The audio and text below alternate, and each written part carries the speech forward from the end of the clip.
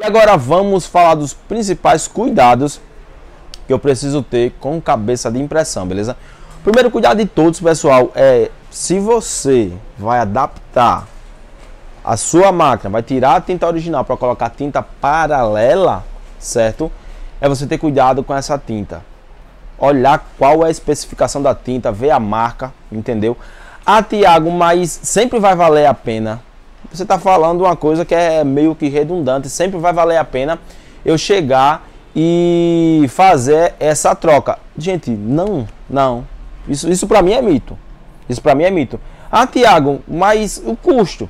Eu já trabalhei em situações que eu mantive as tintas originais da impressora. Mas, Tiago, mas aqui finalidade? A, a, a, na finalidade de manter qualidade de manter a segurança de eu estar tá entregando para o cliente a melhor situação possível. Isso eu fazia muito quando eu imprimia CD e DVD. E outra coisa, o custo se pagava. Eu colocava o, custo é, praticamente só de impressão, a gente custo, cobrava dois reais. No, na projeção que a gente tinha na época, era um negócio de 10 centavos o custo da tinta. Para mim, a impressão de apostilas não vale a pena. Vocês estão entendendo onde eu quero chegar? Porém, entretanto, contudo, todavia, para produtos mais robustos, pode sim valer a pena, entendeu? Mas aí, quero botar book, Tiago, eu quero, eu quero simplesmente trabalhar com custo, esse negócio de, de, de qualidade, durabilidade, não é o produto que eu vendo. Cara, o primeiro cuidado que você vai ter que ter, eu vou repetir isso quantas vezes for necessário, é a qualidade da tinta. Dá um exemplo aqui, ó, é, nessa impressora aqui. Eu já comprei a uma pessoa que disse, Tiago, eu testei essa marca e a marca é boa, entendeu? Agora não é qualquer marca, é essa referência aqui, acho que tem até essa aqui não é não, marca de deixa eu ver, tem não aqui. Isso aqui é outra coisa. Essa marca aqui é boa, mas não é, é só dessa, tem que ser essa marca e essa referência. E aí nunca teve problema aqui dizer, ah, é, a máquina entupiu e não, não desentupiu e tal. Cara, não. E aí quem já sabe aqui no vídeo, é, é, não tem um problema nenhum em falar isso. Inclusive eu já usava essa marca, olha, assistente hoje está eficiente. Ó. Eu já usava essa marca com impressora Canon. Gente, eu já tive um prejuízo extraordinário. Mas extraordinário, tipo assim, três, quatro máquinas queimaram na minha frente porque a gente usou tinta ruim. Entendeu? Mas ó, Inkbank, e não é qualquer Inkbank, é Inkbank com código é 850. E para você ver como é tão impressionante essa situação de, de, de máquina, é, não dá, acho que dá para ver aqui do lado dessa máquina. Dá só uma giradinha assim, pra ver. Não reparem a bagunça. Essa daqui, pessoal, um Workforce 3720 que a gente comprou junto com as primeiras Workforce que a gente comprou. Eu confesso que foi pelo sobrenome que eu digo, se não for tão boa, deve ser quase. Só que também ela estava tá, quase na metade do preço das Workforce maior. E o que acontece? Essa mesma tinta, com essa mesma referência, em uma cor específica não serve para essa máquina. Que olha que interessante. Pelo menos para aqui pra gente.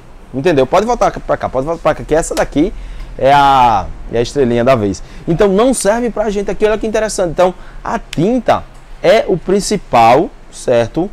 Cuidado que você tem que ter com a cabeça de impressão. O segundo cuidado, para cabeças de impressão que não são estacionárias, que são essas aqui que se movimentam, é muito importante também é, a gente evitar de que papéis fiquem atolados, principalmente nessa área aqui é, da cabeça de impressão, visto que a durabilidade das correias e até eu já vi algumas situações de trincar essa cabeça de impressão aqui, essa parte aqui de baixo, pelo fato da batida. E aí às vezes é mau manuseio do, do operador, mas aí esse cuidado porque, cara, é, é, é uma força extraordinária que isso aqui para para o tamanho da impressora que isso exerce.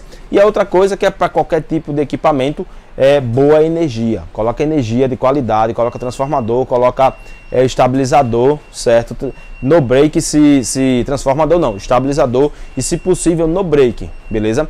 Que com certeza a cabeça de a sua vida útil da cabeça de impressão vai aumentar. E outro cuidado que é um cuidado de uso, é, além desses três que eu falei aqui, é você não utilizar a sua impressora em modo rascunho, principalmente para as impressoras térmicas, porque o que acontece? É, a cabeça de impressão ela não é feita, certo, para trabalhar sem tinta.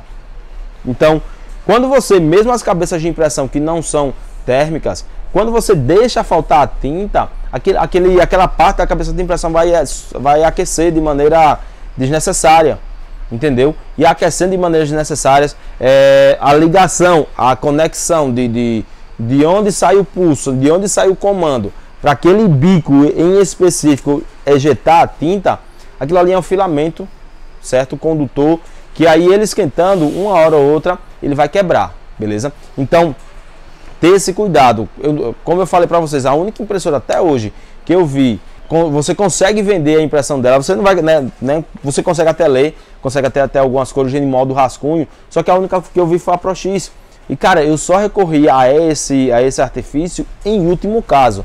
Era tipo, eu ou faço isso ou eu não entrego o material.